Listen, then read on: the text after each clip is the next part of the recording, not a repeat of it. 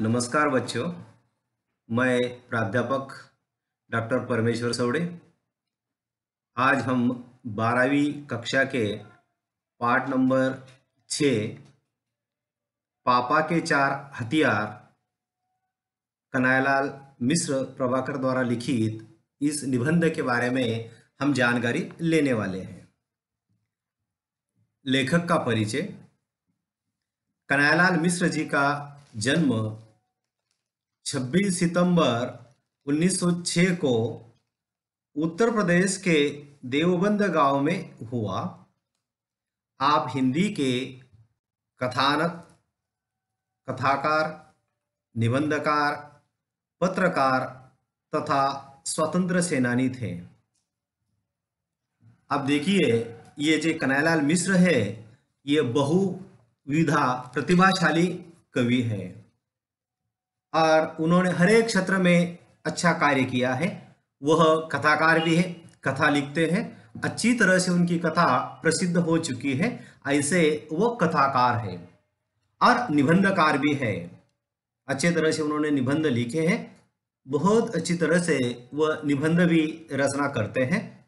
पत्रकार हैं। हमें पता है, आज वर्तमान में पत्रकार एक अहम भूमिका निभाते हैं। हमारे लोकशाही के जो चार आधार स्तंभ है, उनमें से एक होता है पत्रकारिता। और ये पत्रकार भी रह चुके हैं, तथा स्वतंत्र सेनानी थे, और वह स्वतंत्र सेनानी थे, क्योंकि उनका जन्म 1906 को हुआ है, और तब हम आज़ाद नहीं थे। भारत कब स्वतंत्र हुआ? 1947 को भारत आज़ाद हुआ है। तो उस समय उनकी उम्र तकरीबन उनकी उम्र उस समय 40-45 के दरमियान थी और वह स्वतंत्र सेनानी थे। उन्होंने सेना में भाग लेकर हिंदुस्तान को आज़ाद करने का भरसक प्रयास उन्होंने किया था और इसलिए वह स्वतंत्र सेनानी थे। आपने पत्रकारिता में स्वतंत्रता के शोर को ऊँचा उठाया। उन्होंने बताया है पत्रकारिता। पत्रकारिता यह ऐसा क्षेत्र है कि वह अगर अच्छी तरह से जनता के सामने सम्मुख आ जाए तो सभी घटनाओं का अच्छी तरह से हम पर प्रभाव होता है। मगर पत्रकारिता दो तरह से होती है। कभी कभार पत्रकार सच्ची जानकारी जनता तक नहीं देते हैं। हो सकता है उसके पीछे कोई वजह हो सकती है। उसमें दो वजह हो सकती है। एक तो यहाँ कि जो पत्रकार जहाँ पर काम करता है, उनका दबाव होता है। दूसरी चीज़ ये होती है कि कुछ पत्रकार जो रहते हैं, वह किसी की सुनते नहीं है। जो उन्हें अच्छा लगा, वो जनता के सामने प्रस्तुत करते हैं। पर कुछ पत्रकार जो होते हैं, सच्चाई जनता के सामने प्रस्तुत नहीं करते हैं।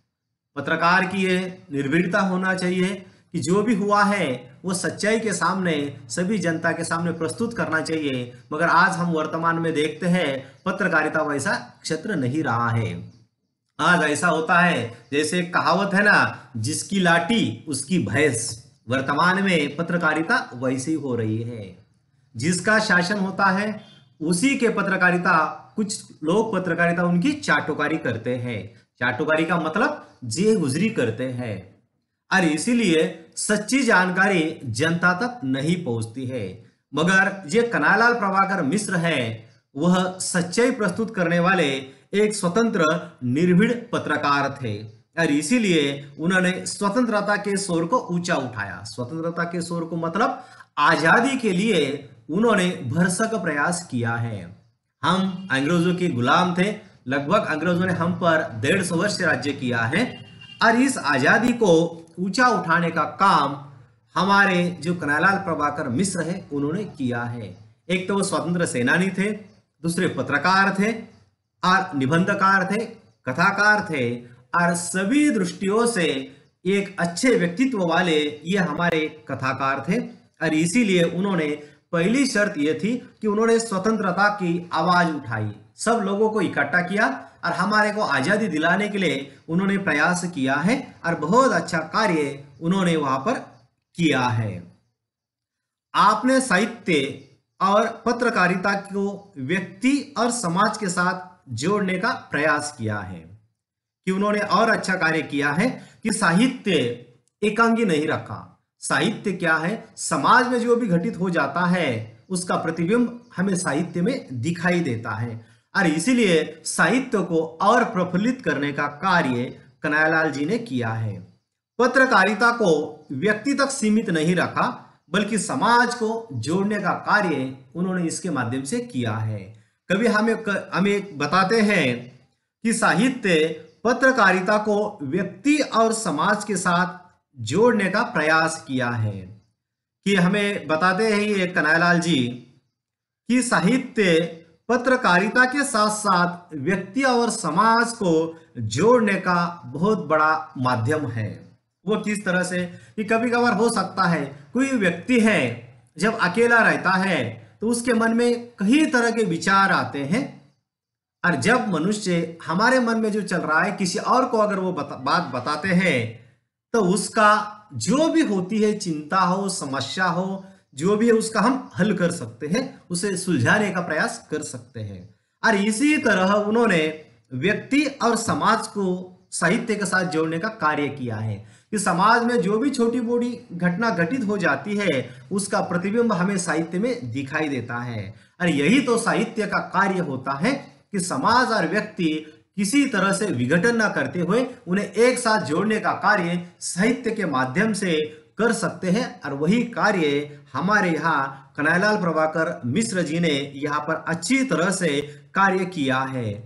और समाज को साथ में रहकर, समाज में जीते हुए हमारा भी एक फ़र्ज़ होता है कि समाज को अच्छी राह पर चलने का कार्य बताए।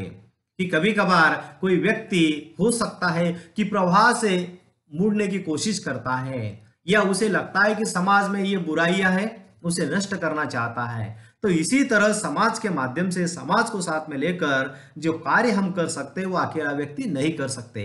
कहते हैं ना कि एक लकड़ी रही तो हम उसे आसानी से तोड़ सकते हैं। अगर लड़कियों, लकड़ियों का बड़ा सा ऐसा अगर लकड़ियाँ ज़्यादा रही इकट्ठा रही, हम उसे तोड़ नहीं सकते। उसी तरह हमें प्रभाकर जी बताते हैं कि समाज के साथ में रहकर हम अच्छी उन्नति कर सकते हैं और इसीलिए अकेला न रहकर समाज को साथ लेकर चलना चाहिए, उससे हमारी वृद्धि होती है। हमारे समाज में अच्छी तरह से रहने के वजह से हमारा जो भी कार्य है, वह सफल बनता है। आप भारत सरकार द्वारा पद्मश्री सम्मान से विभूषित है। इतना ही नहीं तो भारत सरकार के द्वारा जो बड़े बड़े पुरस्कार दिए जाते हैं, जैसे साहित्य के क्षेत्र में काम करने वाले जो अच्छे लोग रहते हैं, असाधारण लोग रहते हैं, उन्हें ज्ञानपीठ पुरस्कार भी दिया जाता है, पद्मश्री पुरस्कार दिया जाता है। ऐसे बहुत सारे पुरस्कार हैं, जिनमें से भारत सरकार द्वारा इन्हें पद्मश्री पुरस्कार भी सम्मानित हुआ है। और एक महान कार्य करने वाले के लिए सरकार की ओर से ऐसे पुरस्कार दिए जाते हैं। और पुरस्कार देने के पीछे यही एक मकसद रहता है कि इन लोगों ने अच्छी तरह से और कार्य करना चाहिए, समाज की उन्नति के लिए अपने हाथ बटाना चाहिए। इसलिए भारत सरकार की ओर से इस तरह के पुरस्कार देने की प्रथा अम परंपार जारी है, जो कि इन्हें पद्मश्री पुरस्कार मिला है। आपकी भाषा सहज, सरल और मोहरेदार है। ये जो प्रभाकर जी है, इनकी भाषा सहज, सरल और मुहावरेदार है। और हिंदी इस तरह की भाषा है, बहुत मीठी भाषा है।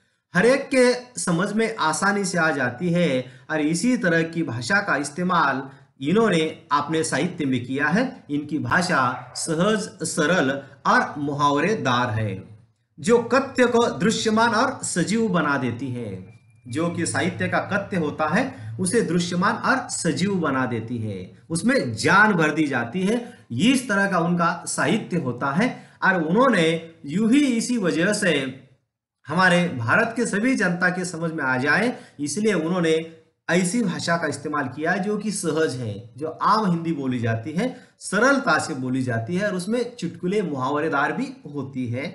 और इस जो कत्य रहता है, साहित्य में क्या बताने की कोशिश की है उसी को उन्होंने सजीव तथा दृश्यमान बना दिया है। जो भी कहना है, ऐसा सजीव लगना चाहिए। इस तरह का उन्होंने अपने साहित्य में प्रयास किया है।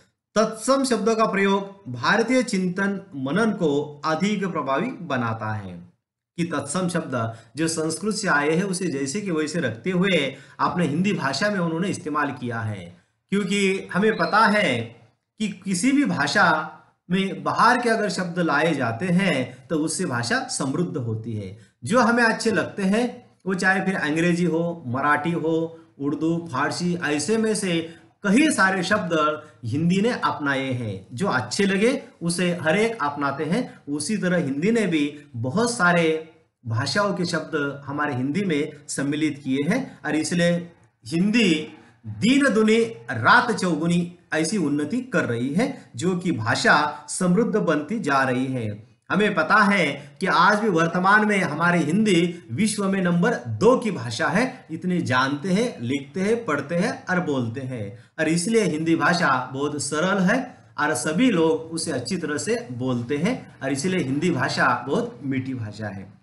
आपका निधन उन्नीस में हुआ। ये जो हमारे प्रभाकर जी है, इनका निधन उन्नीस में हुआ है। अब इनकी प्रमुख कृतियाँ कौन कौन सी है, ये भी हम एक बार देख लेंगे। धरती के फूल, ये इनका कहानी संग्रह है। ज़िंदगी मुस्कुराई, बाजे पायलिया के घुंघरू, ज़िंदगी लहलाई, महके आँगन, चेखे द्वार, ये इनके निबंध संग्रह है।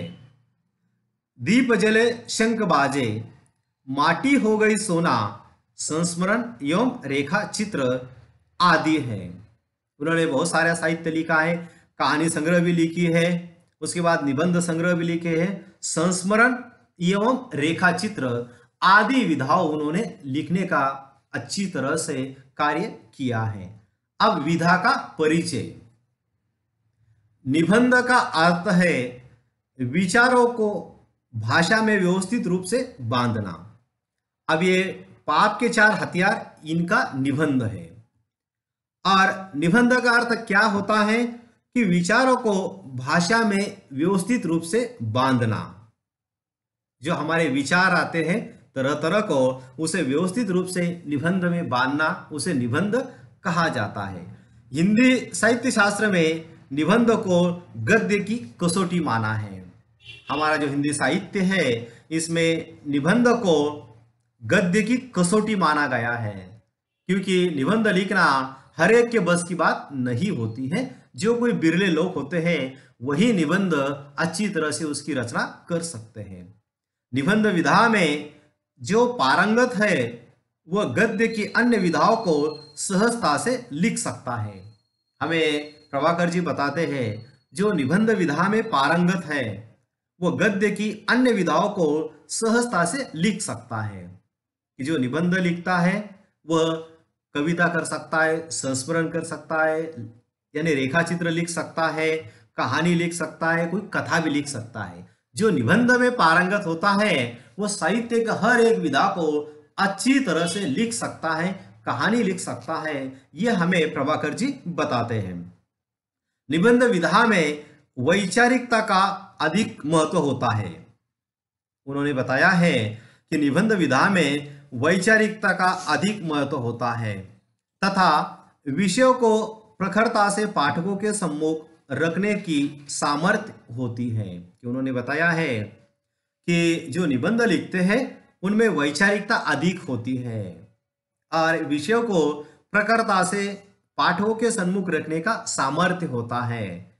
कि हमें वो बताते हैं कि जिनकी पढ़ने की, कुछ लिखने की जो क्षमता होती है, वो वैचारिक दृष्टिकोण से ज़्यादा आ जाती है, प्रगल्भ बन जाती है। तो इसलिए तरह तरह के जो किताबें होते हैं, चाहे निबंध लेखन होता है, गद्य होता है, पद्य होता है, कविता होती है, जो भी होता है वह पढ़ना चाहिए। उससे मनुष्य को मन में बहुत अच्छे प्रभाव होते हैं। अब पाठ का परिचय। प्रत्येक युग में विचारों को दार्शनिकों, संतों, महापुरुषों ने पाप, अपराध, दुष्कर्मों से मानव जाति को मुक्ति दिलाने का प्रयास किया। परंतु विडंबना यह है कि आज भी विश्व में अन्याय, अत्याचार, भ्रष्टाचार, पाप और दुष्कर्मों का बोलबाला है। और मनुष्य को जाने अनजाने इन्हीं का समर्थन बना हुआ है। अब देखिए, हमें प्रभाकर जी इस बार निबंध के माध्यम से क्या बताना चाहते हैं कि प्रत्येक युग युग यानी एक सौ साल का एक युग होता है कि प्रत्येक युग में जो हमारे विचारक होते हैं, दार्शनिक होते हैं, संत होते, महापुरुष होते हैं, उन्होंने हमारे को अच्छी सलाह हर समय देने का प्रयास किया है। यानी पाप, हम वर्तमान में देखते हैं कि हम यूँ ही कहते हैं कि पाप बढ़ बढ़ रहा है, दिन ब दिन बढ़ता जा रहा है। उसी तरह अपराध, क्योंकि वर्तमान समय में ज़्यादा अपराध बढ़ रहा है। दुष्कर्मों से मानव जाति को मुक्ति दिलाना है। जो दुष्कर्म होते हैं, उससे मानव जाति को मुक्ति दिलाना है। परंतु विडंबना यह है कि विश्व में आज भी भारत की बात नहीं कर रहा तो पूरे विश्व की हम बात कर रहे हैं कि उसमें अन्याय बढ़ रहा है, अत्याचार बढ़ रहा है, भ्रष्टाचार बढ़ रहा है, और पाप के दुष्कर्मों का बोलबाला दिखाई देता है कि जो हमारे, जो भी यहाँ तक कि पूर्व परंपरा से हम देखते हैं, हमारे जो संत महंत हुए हैं, उन्होंने भी ये पाप पुण्य कम करने की कोशिश की मगर उनका जीवन समाप्त हुआ, मगर ये कम नहीं हुए वह बढ़ते ही जा रहे हैं। अरे, इसी को लेकर हमारे प्रभाकर जी ने हमारे सामने ये प्रस्तुतिकरण किया है कि मनुष्य आज भी जाने अनजाने इन्हीं का समर्थक बना हुआ है। तो ये मिटाना है हमें, ये दूर करना है, जो कि पाप बढ़ रहा है, अन्याय बढ़ रहा है, अपराध बढ़ रहा है, उसे कम करना है। समाज में हमारे जो संत रहते हैं, महापुरुष की हम जयंतियाँ मनाते हैं। जो संत महंत होकर गए हैं, उन्होंने हमें बहुत प्रयास करके बताने की कोशिश की है कि ऐसा नहीं करना चाहिए, क्योंकि अक्सर कहते हैं, सच, हमेशा सच बोलना चाहिए। मगर कभी कभार कुछ लोग झूठ का सहारा लेते हैं और वो बताते हैं कि हमेशा सच्चाई के राहों पर चलना चाहिए। समाज में संतों और महापुरुषों की जयंतियाँ मनाते हैं, जय जयकार करता है, उनके स्मारकों का निर्माण करवाते हैं, परंतु उनके विचारों का आचरण में नहीं लाते हैं। ऐसा क्यों होता है? लेखक ने अपने चिंतन के आधार पर इस प्रश्न का उत्तर खोजने का प्रयास प्रस्तुत निबंध में किया है। कवि ने बताया है कि ऐसा क्यों होता है? उसके पीछे क्या वजह है? उसको ही उन्होंने इस निबंध के माध्यम से प्रस्तुत करने का प्रयास किया है। तो हम इसमें देखेंगे कि कवि हमें क्या बताते हैं। हम निबंध के बारे में देखना चाहते हैं। आप सभी को पता होगा कि निबंध के चार प्रकार हैं। नंबर एक, विचारात्मक निबंध। विचारात्मक निबंध किस तरह से लिखे जाते हैं, जैसे दूरदर्शन के लाभ और हानि, यानी विचार पूर्वक उसको लिखा जाता है कि भाई दूरदर्शन से हमें क्या लाभ होता है और क्या हानि होती है, उसको विचार करके हमें लिखना पड़ता है तो ये विचारात्मक निबंध होता है। या टेलीफोन का बढ़ता हुआ प्रभाव, हम देखते हैं वर्तमान में जो भी व्यक्ति है, उसे टेलीफोन का चक्सा लगा हुआ है और दिन ब दिन उसका प्रभाव बढ़ रहा है। ऐसे निबंधों को जब लिखना है तो उसे विचार पूर्वक लिखा जाता है। तो इस तरह के ये विचारात्मक निबंध कहा जाता है। नंबर दो है वर्णात्मक निबंध। इसमें वर्णन करके लिखा जाता है। जैसे उदाहरण के तौर पर देखेंगे, मेरा भारत। कि भाई ऐसा निबंध आता है कि मेरा भारत। तो इसके बारे में आपको वर्णन करके लिखना होता है कि भारत के बारे में क्या अच्छाइयाँ है। उसको उस वर्णन के माध्यम से हम लिखते हैं। उसके बाद उन्होंने बताया है होली का त्यौहार, कि उसे वर्णन करके हमें लिखना पड़ता है कि होली किस तरह से होती है, पूरे भारत में मनाई जाती है तो उसका वर्णन करके हमें लिखना होता है। उसके बाद नंबर तीन है, विवरणात्मक निबंध। मेरी पहली हवाई यात्रा मतलब जब कभी कोई हवाई यात्रा करता है तो उस हवाई यात्रा के बारे में आपको विवरण के साथ प्रस्तुतिकरण करना पड़ता है कि भाई कहाँ से आप हवाई जहाज़ पे बैठे, कहाँ उतरे, कितने दिन रहे, इसका उसमें डाटा होता है। सड़क की दुर्घटना, क्योंकि दिन ब दिन हमारे हिंदुस्तान में बहुत दुर्घटनाएँ होती हैं तो उसका भी विवरण करके आप सड़क की दुर्घटना इसके अंतर्गत लिख सकते हैं। उसके बाद नंबर चार है कल्पनात्मक निबंध। कल्पना करके लिखा जाता है, उसे कल्पनात्मक निबंध कहा जाता है। जैसे, यदि मैं राष्ट्रपति बन जाऊँ, कि हो सकता है भविष्य के बारे में बात करें, कि राष्ट्रपति बन जाऊँ तो क्या करेगा, क्या नहीं, उसके बारे में उसमें विस्तृत चर्चा होती है। यदि मैं शिक्षा मंत्री होता तो कल्पना करना है, हो सकता है, मगर कल्पना करने में क्या अर्ज़ है? अक्सर कहते हैं ना कि मनुष्य ने बड़े बड़े सपने देखना चाहिए। सपने पूरे हो ना हो, मगर सपना ज़रूर देखना चाहिए। अक्सर कहते हैं, हम हिमालय पर्वत पर चढ़ने की अगर कोशिश करें, अगर वो सपना रखे तो कम से कम आधे हिमालय तक हम चढ़ सकते हैं। तो इस तरह से निबंध के चार प्रकार है। विवरणात्मक निबंध वर्णात्मक निबंध, विवरणात्मक निबंध और कल्पनात्मक निबंध। इस तरह से ये निबंध के चार प्रकार है।